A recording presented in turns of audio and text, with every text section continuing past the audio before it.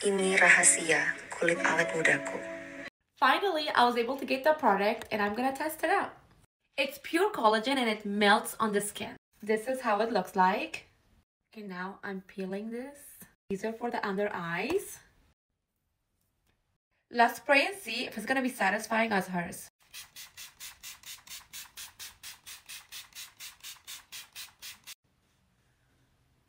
My skin feels so hydrated and it feels like I just got facial.